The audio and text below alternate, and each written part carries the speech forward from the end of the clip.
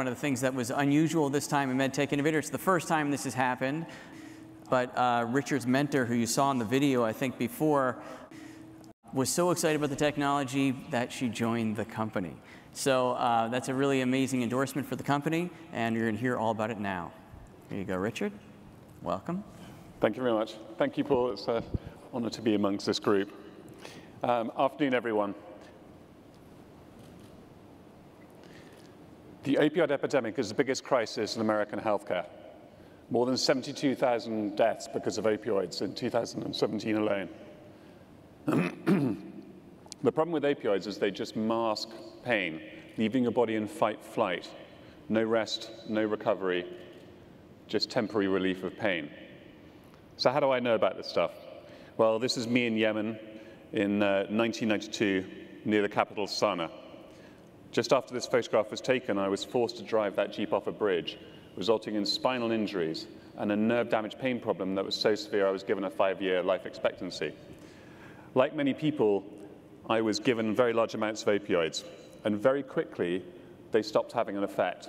So I was left with two choices carrying on popping pills until they killed me, or find a better way.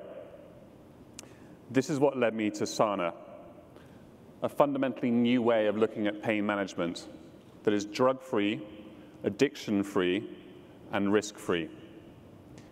Sana wiped out all of my nerve damage pain, and I have been pain-free since 1993.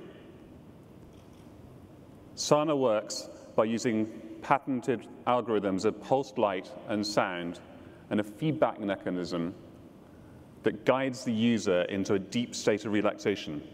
This lessens pain and improves sleep. The first mechanism of action of how Sana works is it restores hemispheric balance. Here you can see the EEG of a chronic pain patient who was suffering from also from traumatic brain injury, a notoriously difficult thing to treat. You can see in the after EEG that the balance between the two sides of his brain has been restored. Um, the second part of the cycle is Sana then breaks that pain cycle by getting the user out of fight flight into rest and recovery. This means less pain in less than 10 minutes. Here is Hattie, one of our earliest users, um, who had chronic regional pain syndrome. Before using Sana, the pain in her arms was so severe that she couldn't bear the lightest touch, and her pain levels kept her out of school. On the very first time she used Sana, she cried in relief because she was able to touch her arms without pain for the first time in three years. She was also able to go back to school. We just completed a placebo-controlled study with Stanford and Special Operations Command. We achieved 2x increase in relaxation, a 3x reduction in pain, and a 5x improvement in heart rate variability, which measures recovery and sleep. We've just raised 4 million to take us through FDA. We've been, uh, we're evaluating currently um, requests to do clinical trials with 30 different clinical partners. And in the last few months, We've won the Under Armour Innovation Award, the Self Care Award from Bayer, and the Mount Sinai Rehab Challenge. We're now co collaborating with all those three partners. With Mount Sinai, we're due to start our FDA trial in uh, Mount Sinai in November. And here is our PI. We're very lucky to have Dr. David Putrino, one of the world's experts on the neuromodulation and pain, as our PI. And as you can see, he's excited to work with us too uh, trial endpoints, standard subjective endpoints for pain studies, plus objective endpoints, which will show us the long-term biological effects of using SANA. Uh, the FDA rang us last week and actually invited us in for our pre-sub meeting two weeks early than currently scheduled, uh, and they've asked us to uh, apply for the API challenge, which will give us breakthrough status. Uh, we're very lucky to have um, a very good cross-functional team to not only build the device, but bring it to life. Um, Sana saved my life. It's helped many people like Hattie already. Over a thousand people have used Sana. Since we've been sitting here, 12 more people will have died from opioids. Imagine a world where this doesn't have to happen. Please join us in making that happen.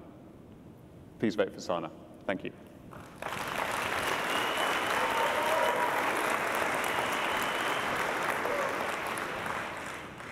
Richard. Um, how does this fit FDA's criteria for their opioid challenge?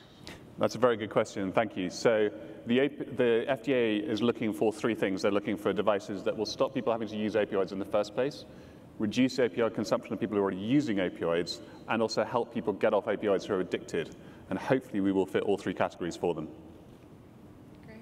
Uh, could you talk a little bit about additional clinical trials that you hope to undergo for other indications, expansion of label, et cetera? Thank you for that. Yes. Um, so the first one will be um, opioid reduction, um, sorry, opioid withdrawal symptom reduction. Um, we're also looking at fibromyalgia, stroke, um, TBI, PTSD, basically anywhere where there's a benefit from taking someone from fright flight into rest and recovery. There's almost no area of mental health where the device doesn't have an impact. We're just trying to pick the ones that closest fit our distribution model at the moment. Congratulations. So how does this drastically different approach you're taking to pain management fit a regulatory or reimbursement strategy? Um, thank you for asking that. The, there are current reimbursement codes which we can plug into um, due to our ability to allow a physician to actually access uh, patient data on a day-by-day -day basis. Um, it's also, we're looking at a cost that is so low that we're looking at out-of-pocket.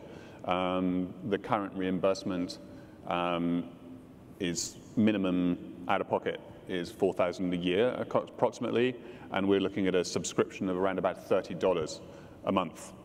Um, but we're also looking at trying to persuade payers and insurers that this is the right thing to do. Um, and just yesterday we had a conversation with Blue Cross and they told us the health economic data is already there. Um, so all we have to prove is reducing opioids and then they will fund it. One more question. One more? Yeah. One more, go quick. So, uh, is this a uh, prescription device? I guess, uh, what, will be the go-to-market strategy for Sana? Uh, so the go-to-market starts with pain clinics and getting data within pain clinics to help hospital systems make a decision. Um, and eventually, in the long term, we hope to go direct to consumer, um, but only after a long time working through the hospital systems so we get broad adoption first. Very good. Congratulations. Thank you very much, everyone. Great job. Good luck. Thank you, Richard. Thank you. so the winner of MedTech Innovator 2018 is Sana Health.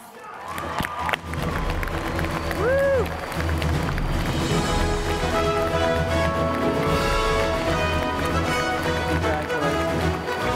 Congratulations.